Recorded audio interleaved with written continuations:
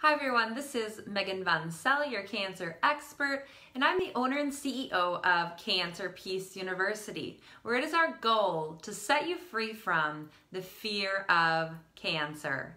In this video, I'm going to be talking about a popular superfood that is commonly recommended during a cancer diagnosis, but may have contraindications in a brain cancer diagnosis as well as other types of cancer.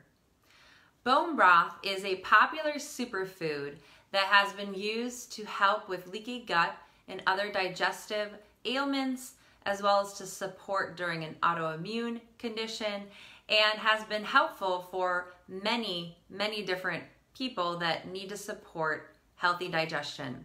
And L-glutamine in bone broth is typically a great amino acid source. However, in some studies, it has shown that L-glutamine can be a potential source for cancer cells, either for fuel or to help cancer cells overcome a harsh acidic environment.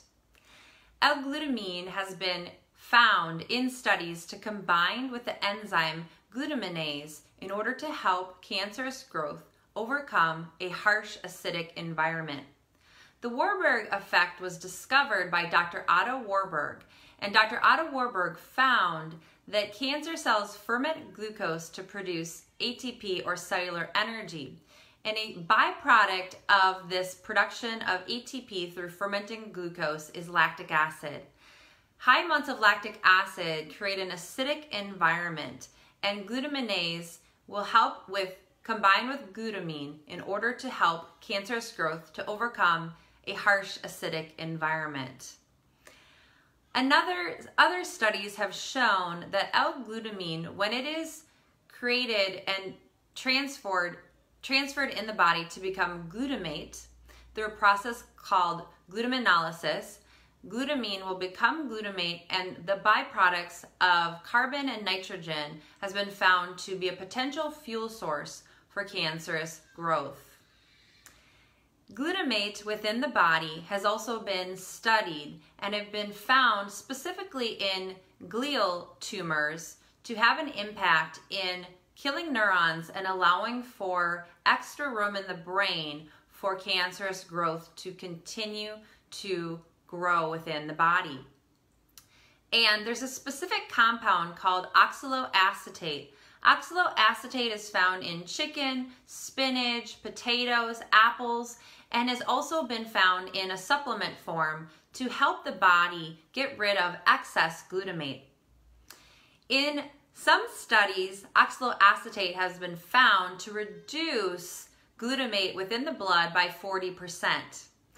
And oxaloacetate can combine with glutamate within the brain to create a brain protective compound, alpha ketoglutarate.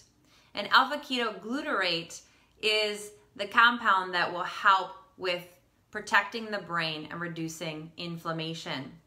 In animal studies, oxaloacetate in supplement form has been found to increase survival outcomes by 237%. And oxaloacetate can be found in certain supplements and can be helpful specifically for a brain cancer diagnosis. There's a specific medical food that contains oxaloacetate called benaGene that can be supportive during a brain cancer diagnosis if there is an excess of glutamate that is allowing for a fuel source for the brain tumor or helping to kill off neurons and allow for extra room in the brain for the tumor to grow. If you are a holistic practitioner and you are wanting to learn more about what it means to become a Cancer Peace University instructor, please reach out to me over Cancer Peace University at gmail.com. You can also send me a personal message. I'd be happy to set up a Zoom call to share more about what it means to become a Cancer Peace University instructor, where it is our goal to set people free from the fear of cancer. The first person to reach out to me about my program that is starting in August and the next mini course will be in October. I'll send a copy of my book, What is Cancer? and I look forward to hearing from you soon.